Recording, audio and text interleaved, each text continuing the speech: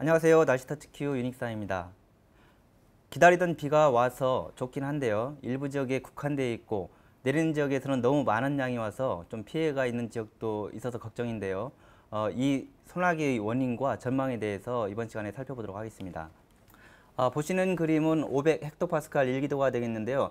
어, 지난주에 말씀드린 장마전선이 올라오지 못하는 북상화 늦어지는 이유에 대해서 설명드릴 때 어, 보셨던 그림이 되겠습니다. 금요일 자료가 되겠는데요. 어, 몽골 북쪽으로 어, 기암 능이 자리 잡고 있고 그 남쪽으로 어, 우리나라 북쪽에 해당되는 지역에서 상층 고래 동반된 한기가 자리 잡으면서 이 상층 골이 에, 남쪽으로부터 올라오는 기류를 차단을 하면서 어, 장마 전선이 늦어진다라고 이제 말씀을 드렸는데요. 어, 오늘은 어떻게 변했는지 한번 살펴보도록 하겠습니다.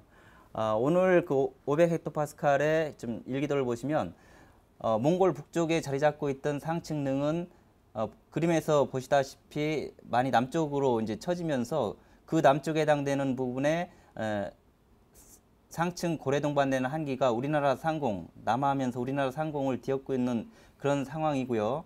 어, 이렇게 된 상황에서 이 상층 골이 이제 지상의 저기압을 발달시키면서 서해상에서 저기압을 발달시키면서 어, 우리나라 쪽으로는 어, 남쪽에서 올라오는 기류의 영향을 받고 있습니다. 이 상층의 한기가 남하면서 어, 상하층 간의 온도차가 커져서 이제 불안정한 상태가 되고요.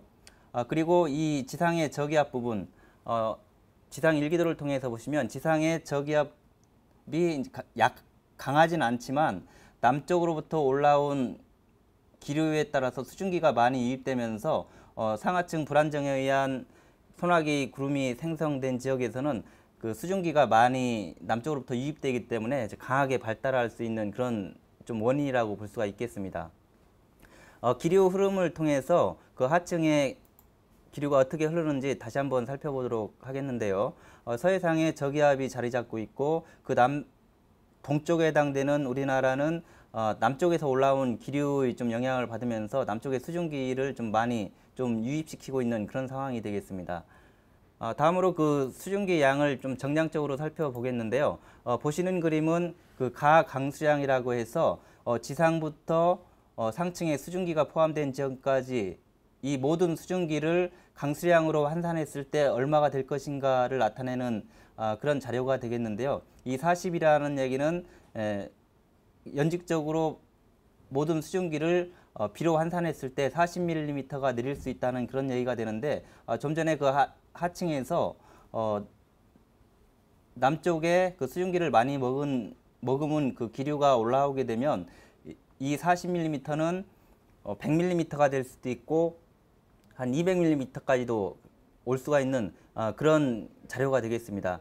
따라서 어느 지역을 한정하기는 힘들지만 이런 자료를 봄으로써 어, 어느 지역에서는 어, 많은 뭐 100mm 이상의 많은 강수가 내릴 수 있다라고 이제 판단할 수가 있고 그에 따라서 어제와 오늘 일부 지역에서는 100mm가 넘는 많은 비를 좀 기록을 하기도 했습니다. 어, 이번 사례에서 그 대기 불안정을 일으키는 원인이 뭐 상층의 한기 남하, 많은 수증기 유입, 뭐 지명 가열에 의한 상하층 큰 온도차라고 볼 수가 있는데요. 이 세 가지 요소 중에서 그 오늘 밤까지는 1번 비중 상층의 한기가 이제 주요 원인이라고 이제 본다면 그 내일부터는 그 상층의 한기가 동쪽으로 많이 빠져나가고 어, 지명 가열에 의한 어, 상하층 온도차가 커지는 것이 이제 추가적으로 작용한다고 볼 수가 있는데요. 뭐 가, 강도 면에선 뭐 어제 오늘보다는 뭐 내일 모리, 모레가 시간이 갈수록 어, 점점 약해진다라고 이제 볼 수가 있겠습니다.